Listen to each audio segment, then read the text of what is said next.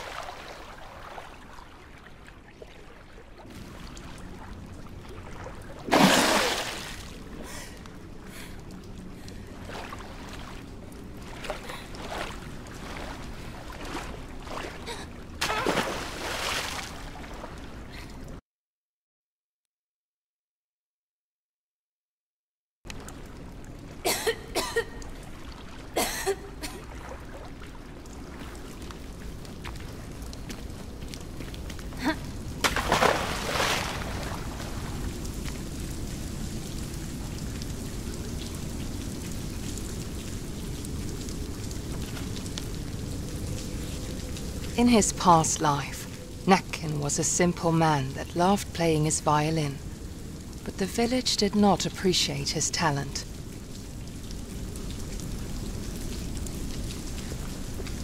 People would frequently bully him, and the only soul that did not was a girl that Näcken fell in love with.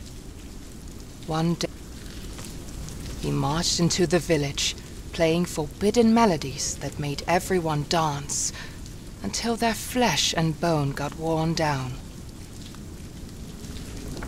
People would frequently bully him, and the only soul that did not was a girl that Näcken fell in love with. One day the bullying and beatings became so severe that Näcken's anger finally overtook him. He marched into the village, playing forbidden melodies that made everyone dance until their flesh and bone got worn down. They eventually died, leaving behind shuffling corpses, still trying to dance to Näcken's melodies. His love was not spared death either. Devastated, Näcken left the town and lived by the lake drowning in his sorrow. Where he still lures people with his deadly music.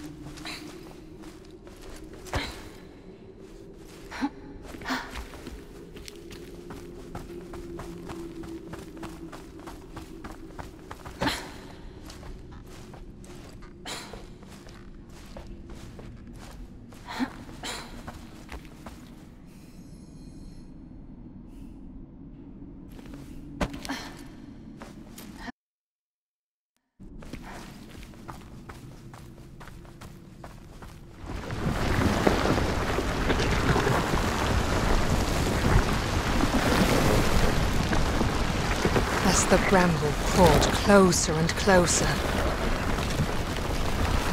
He felt as if a darkness took hold of his heart and filled it with fear.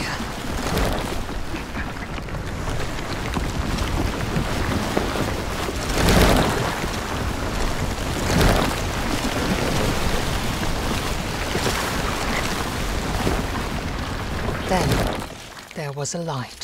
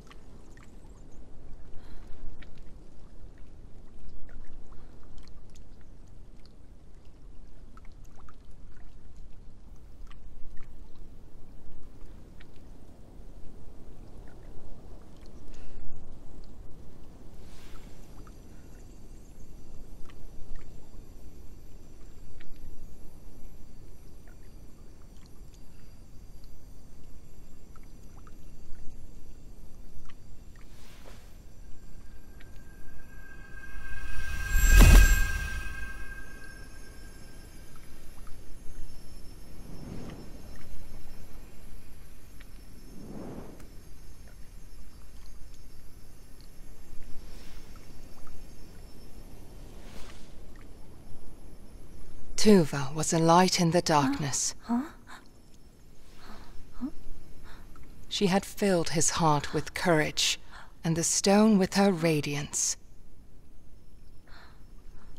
The bramble covers all where darkness has taken hold, Tuva said. Follow the light. You will find what you are searching for within the mountain.